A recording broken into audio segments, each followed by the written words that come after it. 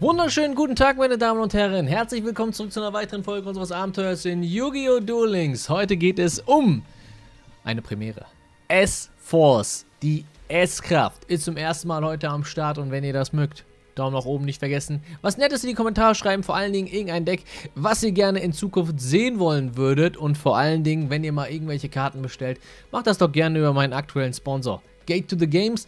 Link in der Beschreibung, Code REGI benutzen, 5% sparen bei sämtlichen Sammelkartenartikeln, Merch, Zubehör, whatever.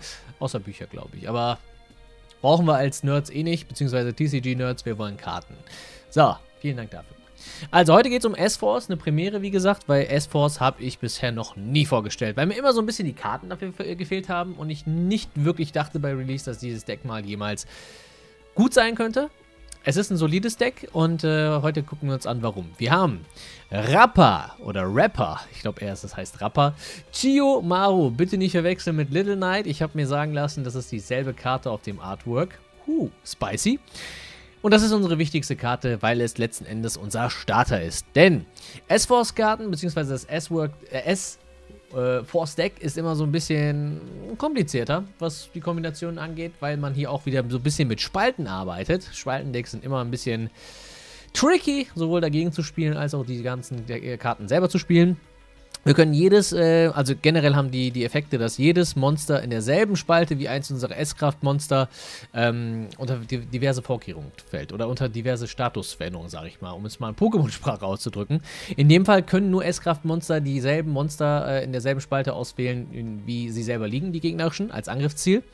Das ist so bei Chiyomaru beispielsweise der Fall. Und Chiyomaru kann als Schnelleffekt eine andere S-Kraftkarte von unserer Hand verbannen, sich zurück auf die Hand bouncen und dann ein S-Boss-Monster von unserem Deck auf das Spielfeld zu spezialbeschwören. Und das ist ganz praktisch, weil man das halt auch in der gegnerischen Runde machen kann oder halt auch, wenn man First geht, als Setup. In der Regel wollen wir Gravitino rausholen. Gravitino sorgt dafür, dass alle Karten, die äh, in derselben Spalte wie ein S-Force-Monster liegen ähm, verbannt werden, anstatt in den Friedhof zu gehen, wenn sie das ähm, Spielfeld verlassen, was ganz gut ist gegen Link-Decks tatsächlich, die dann halt übers Grave arbeiten. Und falls diese Karte als normaler Spezialbeschwörung beschwören wird, können wir unserer Hand eine S-Kraft-Karte von unserem Deck hinzufügen. Also auch hier wieder eine Möglichkeit, teilweise ein bisschen zu kombinieren oder halt auch beispielsweise in unsere mächtigen Zauber- und Fallenkarten zu gehen. Wir haben S-Kraft Lapswell. S-Kraft Lapswell holt uns als Spezialbeschwörung eine S-Kraft Monsterkarte von unserem Friedhof, wenn er spezial beschworen wird. Und wir können eine S-Kraft-Karte von unserer Hand verbannen, um alle Monster in derselben Spalte wie unsere S-Kraft-Monster zu zerstören, was äh, auch wieder ein ganz guter Effekt ist, vor allen Dingen Going Second. Oder wenn man sein Setup hat. Wir haben S-Kraft Platina. S-Kraft Platina sorgt dafür, dass alle Monster in derselben Spalte wie ein S-Kraft-Monster 600 Attack verlieren. Und wenn sie spezial oder normal beschworen wird, können wir eins unserer verbannten S-Kraft-Monster wählen und es als Spezialbeschwörung beschwören. Auch wieder hier eine kleine Synergie tatsächlich mit den ganzen Verbannungseffekten. Wir haben den S-Kraft Klingenschwinger, der, wenn er spezial beschworen wird, ein anderes S-Kraft-Monster von unserer Hand spezial beschwört. Und wir haben Retroaktiv, der für eine Link-Beschwörung äh, für ein S-Kraft-Monster von der Hand verwendet werden kann. Ja, auch nochmal ganz praktisch. Und als Schnelleffekt während der Main Quest können wir diese Karte auf die Hand zurückgeben, um ein Erzkraftmonster der Stufe 2 oder höher als Spezialbeschwörung von unserer Hand zu beschwören. Also hier sehen wir die äh, Synergie mit Chiyomaru beispielsweise. Und Chiyomaru ist wie gesagt unser wichtigstes Monster, deswegen spielen wir Verstärkung für die Armee, um Chiyomaru rauszusuchen. Wir haben äh, zweimal Brückenkopf, das ist die Field Spell, die ich nicht dreimal habe, was ein bisschen schade ist. Wahrscheinlich muss ich hier nochmal ein Dream Ticket nutzen. Aber wenn die Karte aktiviert wird, können wir uns ein S-Kraft-Monster von unserem Deck unserer Hand hinzufügen und wir haben noch zusätzliche Upside-Effekte, wie dass ein Monster unseres Gegners ähm, nur ein S-Kraft-Monster ähm, in derselben Spalte angreifen kann, beziehungsweise durch Chiyomaru ist das ja der Fall. Und wenn er dann zum Beispiel das Monster angreift, können wir diesen Effekt aktivieren und das Monster wird in diesem Fall nicht durch Kampf zerstört, beispielsweise. Ja, soviel zu der Möglichkeit. Wir spielen zweimal Treue bekräftigen, um Chiyumaru aus dem Deck zu holen, was ganz nice ist. Wir haben S-Kraft Machtprobe, auch wieder suchbar als äh, Setup-Karte. Wir beschwören ein S-Kraft-Monster von unserer Hand oder wir fügen ein S-Kraft-Monster von unserem Friedhof unserer Hand hinzu. Und jetzt, Leute, passt auf, die beste Karte überhaupt im Deck, wie ich finde, S-Kraft Verfolgung. Ja, äh, wir wählen offene Karten, die unser Gegner kontrolliert bis zur Anzahl S-Kraftmonster auf dem Spielfeld mit verschiedenen Namen und wir bouncen die Karten zurück. Bounce ist immer ziemlich, ziemlich gut, vor allen Dingen im Extra-Deck-Format. Und falls eine oder mehr Karten von unserer Hand verbannt werden würden, um den Effekt eines S-Kraft-Monsters zu nutzen, können wir sogar diese Karte stattdessen vom Friedhof verbannen. Also 2 in 1 mit die beste Karte in dem Deck eigentlich. Eine Karte, die ich bisher noch nie gesehen habe, ist S-Kraft Exemplar. Diese Liste spielt sie aber tatsächlich im Main-Deck. Falls ein Monster des Gegners äh, einen Angriff deklariert, können wir eins unserer S-Kraft-Monster wählen, das verbannt ist oder sich in unserem Friedhof befindet und das Monster in eine selbe Spalte beschwören wie ein gegnerisches Monster, was auf dem Feld liegt. Dann hat er noch einen Grave-Effekt, dass wir, wie gesagt, die Zone von der Karte wechseln können. Wir haben auch nochmal ein großes Link-Boss-Monster, das ist Justify. Justify ist relativ schwer zu beschwören, aber wenn man es schafft, ist diese Karte in der Regel ein Matchwinner. Wir können nämlich, äh, oder Monster können nicht in Zonen, die diese Karte zeigt, beschworen werden. Also der Gegner in dem Fall, der kann dann im besten Fall zwei Zonen nicht benutzen. Und als Schnelleffekt können wir ein offenes Monster wählen, was unser Gegner kontrolliert. Wir annullieren bis zum Ende des Spielzugs seine Effekte. Effekt negate immer gut. Und es wird noch besser, wir können, wenn diese Karte angreift, alle Karten, auf die diese Karte zeigt, am Beginn der Damage Step verbannen. Und das ist auch wieder ein ganz netter Effekt. Yo. Also, S-Kraft insgesamt ein nettes Deck. Wir spielen Verstand der Planer. Ähm, weiß gar nicht, warum Verstand der Planer in dem Fall so gut ist. Ich würde behaupten, dass Verstand der Planer hier so praktisch ist, weil äh, du über Gravitino dafür sorgst, dass Karten verbannt werden. Und dass, damit der Gegner nicht mit den verbannten Karten noch weiter arbeiten kann, werden sie halt komplett aus dem Spiel äh, gekickt. Ja, und äh, ja, bin gespannt, wie es sein wird. Ja, ich habe noch nie S-Kraft gespielt. Das wird jetzt ein One-Timer. Ich habe nur gegen S-Kraft gespielt, gegen das Deck, aber selber gespielt habe ich es noch nicht. Deswegen mal gucken, äh, was man hier so Schönes sehen wird. So, Magi Dolce. Oh Gott, oh Gott, oh Gott. Und er hat tatsächlich die Magilene. ja, äh, Madolce kriegt ein bisschen Support. Und zwar über die neue Link-Karte. Ich weiß gar nicht, ob die neue Link-Karte bereits im Game drin ist. Ich muss einmal kurz Recherche betreiben. Mm, Leaks February. War nicht richtig, oder? Nee. Aber es ist auch in der Ankündigung. Also Magie Deutsche bekommt da eigentlich eine neue Karte. Kann mal kurz Recherche betreiben. Madolce. Hier. Madolce Fresh Sistart. Gibt es beim Card Trader. Wenn diese Karte äh, auf eine Madolche Monsterkarte zeigt, man deutliche Spellstraps, you cannot... Wait, what? Das war's? Mehr ist da nicht? Schnelleffekt, du kannst eine Karte und einmal geht auf den Spieler wählen. Das macht in diesem Spiel vom Monsterfeld unberührt. Falls einer mal auf den Friedhof gelegt wird, solange diese Karte... Aha.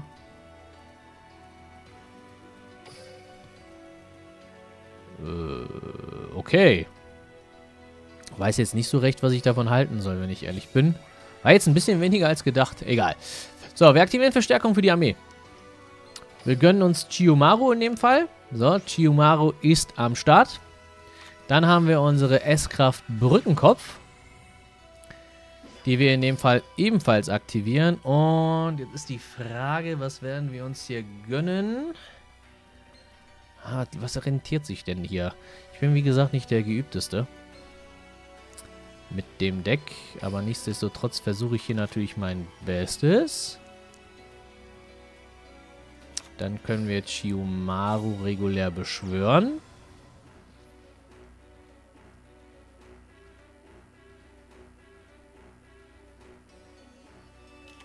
Hm, Buch des Mondes. Das ist zum Beispiel etwas, was ich gegen die Karte definitiv nicht tun würde. Wir können jetzt nämlich Chiyomaru nutzen.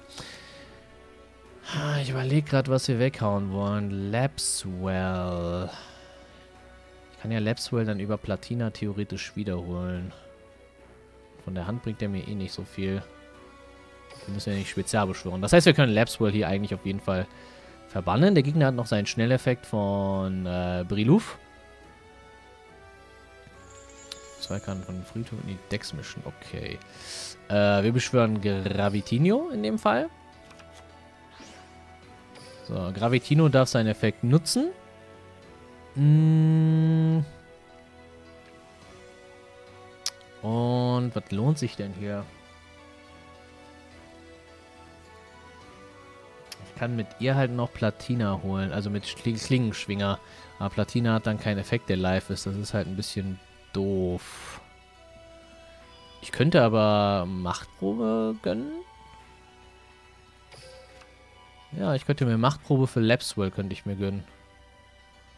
Das würde wiederum funktionieren. Ne? Dann kann ich über Machtprobe Platina beschwören. Platina holt dann Lapswell aus Feld. Und dann könnte ich den Lapswell-Effekt nutzen.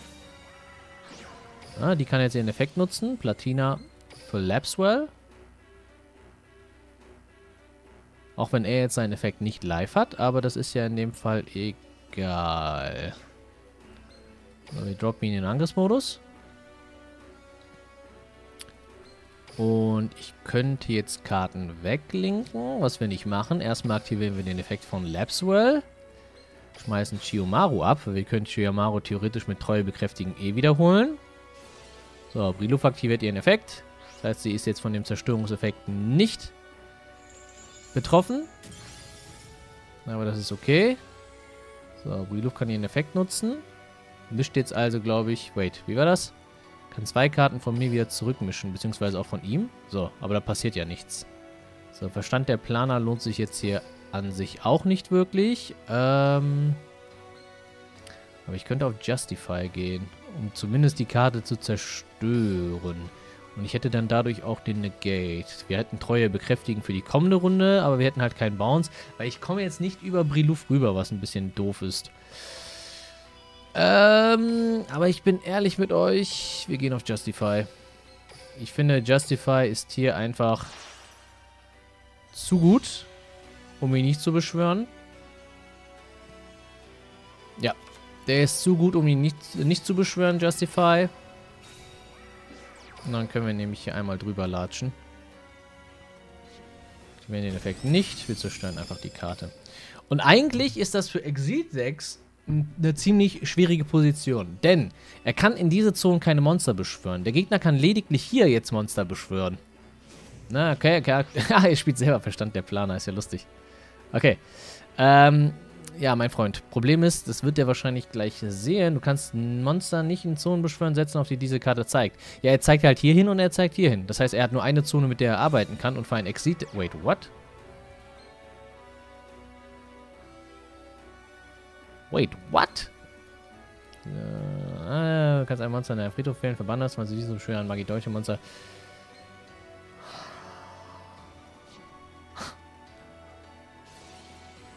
Ich, äh, trau dem Braten nicht. Warum funktioniert das? Oder geht das nur für einen selber? Du kannst...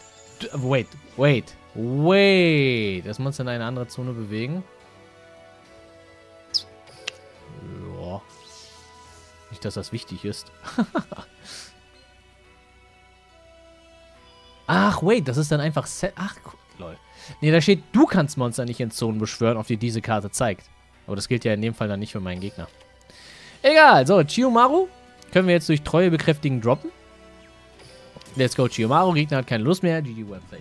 Und ich glaube, hier hat man wunderbar gesehen, was dieses Deck so kann. Auch wenn das Setup vom Gegner jetzt irgendwie nicht so nice war. Weil normalerweise hat er noch die Karte, die die andere Exit-Karte, die dann dafür sorgt, dass er auch noch Interruption hat in meiner Runde, aber naja, er ist halt total gut in die Falle getappt. Na, wenn der Gegner Buch des Mondes hier aufspart für den richtigen Moment, könnte das tough sein. Aber das ist halt ein Vorteil, wenn man ein Deck spielt, was jetzt halt nicht so bekannt ist wie S-Force. Jetzt in dem Kraft, ich äh, habe ja dieses Deck gespielt. Und der Gegner wusste halt nicht, was da abgeht. Also,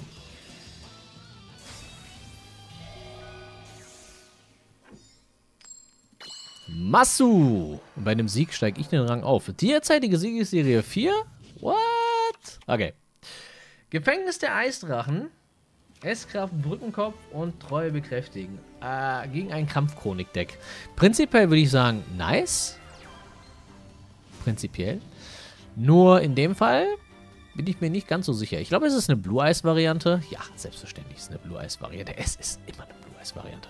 Ja, so, er schmeißt den ultimativen Drachen ab. Den kann ich lustigerweise mit Gefängnis der Eisdrachen sogar auch holen, meine ich. Linkt einmal in Imduk. Und settet die ultimative Fusion plus zwei weitere Karten. Alles klar, Chef. Alles klar, Chef. Oh, und der ultimative Top-Deck. S-Kraft Rapper Chiyomaru. Geil.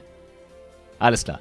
Wir aktivieren unseren S-Kraft-Brückenknopf, beziehungsweise wir versuchen unseren Brückenknopf zu, Knopf zu aktivieren. Sehr nice. Und ich würde an der Stelle sagen, Gravitino, Lapswell, Platina. Was rentiert sich denn hier am besten? Wir können ja unsere S-Force Chain aufbauen, ne? Von einem in den anderen. Dann, der fügt nur eine Karte meiner Hand hinzu.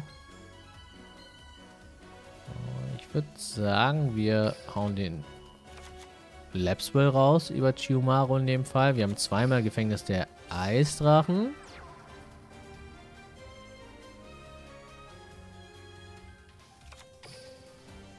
Und ich würde sagen, wir müssen hier eigentlich nicht sonderlich viel machen. Erstmal. Wir können einfach hier den passiven Part übernehmen. Ja. Wir übernehmen hier einfach den passiven Part. Wenn jetzt Nachfolgerseele kommt, können wir um Nachfolgerseele mit Chiyomaru rumspielen. Wir müssen da jetzt wirklich nicht sonderlich viel machen. Weil was kann denn jetzt hier Worst Case passieren? Hier kann gar nicht so super viel passieren. Der Gegner kann halt ein großes Monster beschwören, aber das können wir halt einfach ausstoren. Wir haben auch nochmal Treue bekräftigen. Für End of Turn in der kommenden Runde. Wir sind ja eigentlich ziemlich gut dabei. Oh, okay. Äh, auf meine Treue bekräftigen. Alles klar. Die nutzen wir dann natürlich in dem Fall. Ja, Treue bekräftigen wird hier auf jeden Fall genutzt. Äh, du kannst diese Karte die Hand zurückgeben, falls du diese schon von der Hand. Äh, verwandt von. Hm.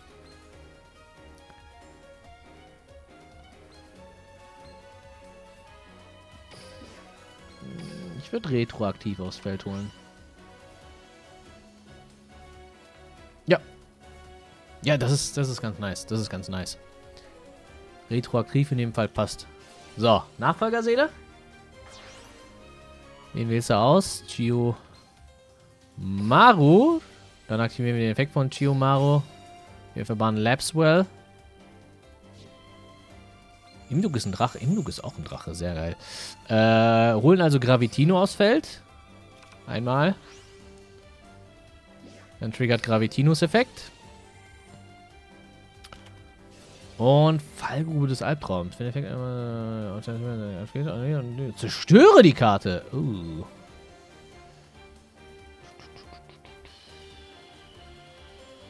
Okay, kein Problem. Shumaru ist leider once per turn. Und Gravitino ist dadurch gone. Und da liegt die ultimative Fusion. Okay, wait, wait, wait, Leute. Das lasse ich mir jetzt nicht nehmen. Nachfolgeseele. Ist das ein... Nachfolgeseele kann mehrmals benutzt werden. Das, das lasse ich mir nicht nehmen, wie gesagt. Das akzeptiere ich nicht. Okay. Okay, okay, okay, okay, okay. Pass auf, pass auf, pass auf. Wir sind Gucci hier. Wir sind super, super Gucci. äh, wenn ein Monster ins Gegner seinen Angriff auf dein S-Kraft-Monster in seiner Spalte deklariert. Hm. Das ist leider nicht die Spalte, wo der Drachegeist liegt. Das gefällt mir nicht. Also IDP muss hier carryen. IDP muss hier carryen. So. Das ist wahrscheinlich... Okay, das ist gut. Die beiden Nachfolgeseelen sind verbannt. Und...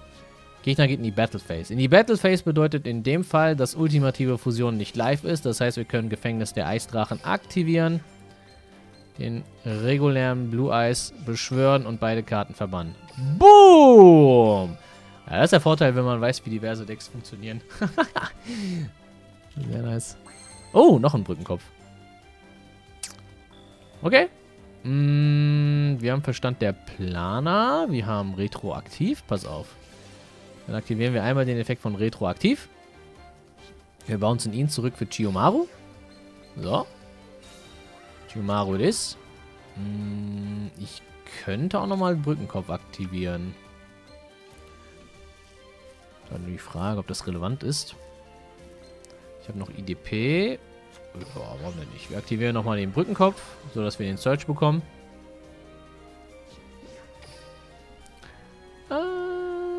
Tumor. Ich könnte den Klingenschwinger auch nochmal beschwören. Nicht, dass das relevant ist. Hm. Spielen wir das Control Game? Das Control Grind Game? Könnten wir. Könnten wir wirklich, aber ich glaube in dem Fall...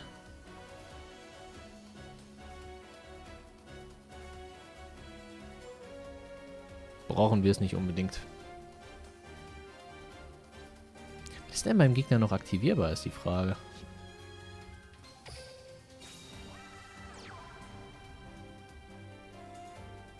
Hm. Äußerst gute Frage. Maßregelung. Alright. Okay. Dadurch kann ich Chiyomaru jetzt nicht bouncen. Äh, was aber okay ist, I guess. Sollte in Ordnung sein. Ja, ich hätte das Control Game spielen sollen. Ich weiß gar nicht, warum ich jetzt hier so aggressiv gespielt habe. Ich hätte einfach regulär mit Chiyomaru. Den Klingenschwinger hätte ich mir auch nicht suchen müssen. Nee, ich hätte hier einfach ganz normal das Control Game spielen sollen. Hm. Ärgert mich so ein bisschen, wenn ich ehrlich bin. Ärgert mich so ein bisschen. Hm. Ein bisschen ärgert mich das schon. So Nachfolgerseele. Hm, das ist die Wombo Combo. Das ist die Wombo Combo. regulären Blue Eyes. Gut. Pass. Ah, das war nix. Das war nichts, Leute. Das war nichts. Ich hätte einfach warten sollen. Ich hätte einfach warten sollen. Wir sind halt immer noch äh, gut dabei, aber das war nichts. Da hätte ich einfach warten sollen. Wäre viel, viel, viel besser gewesen. Weil jetzt habe ich wieder das Problem. Ultimative Fusion. Das ist jetzt genau die Problematik, vor der ich stehe. Okay. Im Duke-Effekt. Wir verbannen wieder die beiden Blue Eyes. Aber das wäre halt überhaupt nicht nötig gewesen, ne? Oh, wait. Wait a minute. Okay, GG. Ne, ich bin selbst schuld. Ich bin hier selbst schuld. Ich bin hier absolut selber schuld. Das, äh, das habe ich gemisplayt, wie es im Buche steht. Weil es ist ein Control-Deck, ja. Dieses Blue Eyes Deck, das kann halt auch, wie man hier wunderbar gesehen hat, eine Menge machen. Das war von mir einfach nicht gut gespielt. Ja. Chiyomaru behalten. Chiyomaru als Schnelleffekt ist halt immer key, um halt um solche Karten wie die Karten vom Gegner drumherum zu spielen. Dann hätten wir dieses Problem gar nicht erst gehabt. Selbst schuld. Satz mit nix. Das war überhaupt nix. Okay. Akasa. So. Merken wir uns, ja, ich habe jetzt äh, meine Lehre daraus gezogen. Und gut ist. So.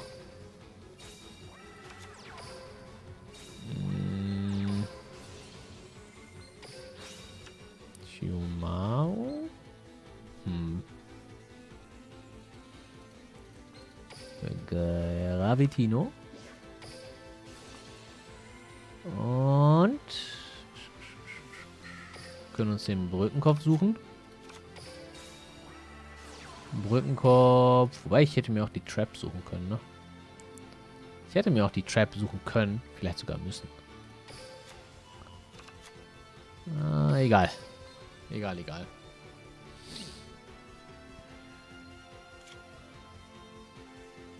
Ich habe retroaktiv abgeschmissen. Uh, orchestrierte Rückkehr. Orkust. Aha. Da ist es umso besser, dass wir das Gefängnis der Eisdrachen haben. Ach du liebe Güte. Imagine, wir hätten diese Karte nicht.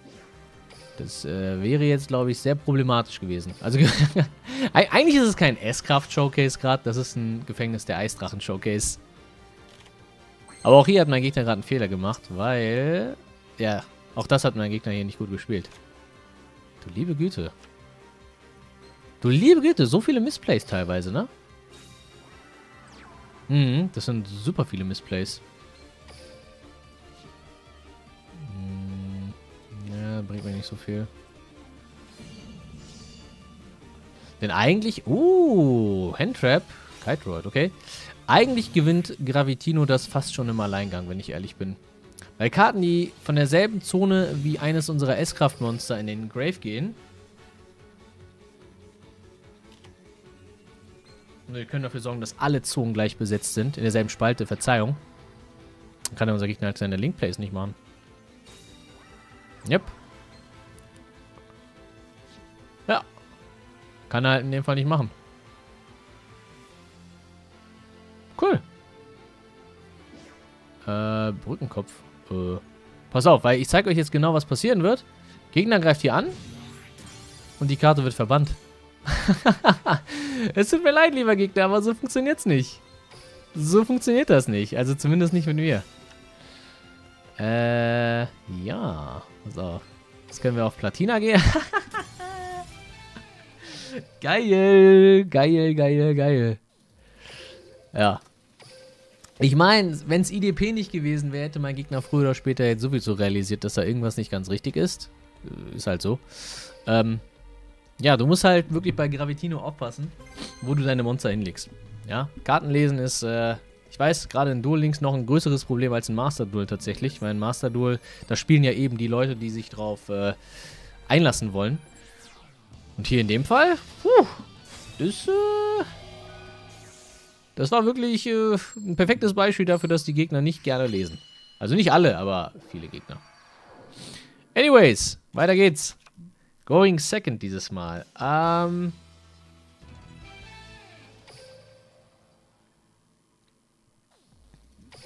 Danke für den Rank-Up. Die, die, die paar Gems nehme ich gerne. Die paar Gems nehme ich mit Kusshand. Vielen, vielen lieben Dank. Okay, komm. Ein letztes Game, beziehungsweise der Versuch eines letzten Games. Ich würde gerne nochmal wissen, was äh, wir hier machen können. Falls ihr äh, die Field Spell dreimal habt, könnt ihr eine Treue bekräftigen cutten für die Field Spell. Ne? Treue bekräftigen ist ja in dem Fall tatsächlich nur ähm, Ersatz bei mir. Zumindest äh, die zweite Kopie. Und yo, wir fangen an. Auf geht's. Gegen Blue Eyes? Kampfchronik. Ja, Blue Eyes. Das ist nur ein Bait. Das ist nicht Blue Eyes. Das ist sowas von nicht Blue Eyes. Kannst du mir jetzt sehen, was du willst. So. Verstärkung für die Armee. Wir suchen uns Chiyomaru raus. Haben dann noch unsere S-Kraft Brückenkopf. Was wir ebenfalls nochmal nutzen. Und wir holen uns... Äh, wir können Gravitino holen. Gravitino verbannen. Über Chiyomaru. Dann holen wir uns Platina. Ja, ja, ja. Das ist gut. Wir können das jetzt einfach wie folgt machen, weil jetzt haben wir ja alle Combo-Pieces da. Wir holen uns Chiyomaru. Wir aktivieren den Effekt. Wir Verbannen Gravitino. Du wirst zurückgebounced. Dann kommt Platina aus Feld. Platina-Effekt. Für Gravitino in dem Fall. So. Effekt Gravitino. Jetzt kann er mir nochmal die Fallenkarte suchen. S-Kraft Verfolgung. Ja, und jetzt stehen wir da. Und jetzt stehen wir da. Eventuell hätte ich Platina noch hier hinlegen sollen, weil wir dann die beiden Linkzonen beide abgedeckt haben. So kann der Gegner theoretisch noch ablinken, aber Passt schon. So. Bingo Machine. War doch okay, Setup. Kleine Combo Chain. So, Bingo Machine. Das ist Blue Eyes. Er hat nur die Dark Magician Hüllen, weil er äh, den Big Brain Move machen will. Wer spielt Dark Magician, wenn man Blue Eyes spielen kann? Jetzt mal Hand aufs Herz. Wer spielt Dark Magician, wenn man Blue Eyes spielen kann? Nice Bait. Hat nur nicht bei mir funktioniert. Mr. Lightning God. Ah, er hat natürlich den Drachegeist des Weißen. Alright, no problem. Das heißt, wir müssen unsere S-Kraftverfolgung direkt aktivieren. Problem ist, er hat wahrscheinlich den Blue Eyes in der Hand. Ja, ja, ja. Das ist äh, unfortunate. Das ist sehr unfortunate. Dass er den Drachegeist hier auf der Hand hatte, ist echt doof. Ja. Das ist wirklich doof. Hm, Kampfchronik, alles klar, Chef. Hm, Nachfolgerseele. Und der ultimative Drache.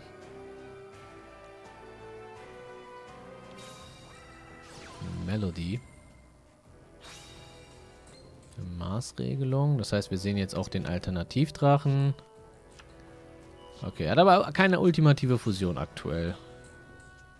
Zumindest noch nicht. Ne? Jetzt kommt der Alternativdrache, kann seinen Effekt nutzen. Tack. Tack. Äh. Ja, ciao Gravitino. Nachfolgerseele, Sek Sek. Ja, dann ist vorbei, ne? Machst du nix. GG. Da war halt der Drache Geistesweißen zu stark. Ne, ich habe keine andere Form der Interruption gehabt. Mit einer Gefängnis der Eisdrachen gewinnen wir das eben mit Ease, aber ja, also ist okay. Ja, also damit komme ich zurecht, weil er spielt drei Stück von denen, Going Second. Da ist die Wahrscheinlichkeit, dass er damit startet, halt auch nicht so unwahrscheinlich. Also, zwei Nicht-Effekt-Monster ganz genau. Interessante Karte, der große doppelt besetzte Zauberer. Äh, diese Karte kann ich direkt angreifen, weil diese Karte durch Kampf oder Karteneffekt zerstört wird. Das ist cool. Wusste ich gar nicht, dass es die Karte gibt.